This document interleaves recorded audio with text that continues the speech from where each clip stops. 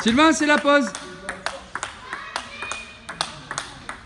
Allez, plus vite, Bernie.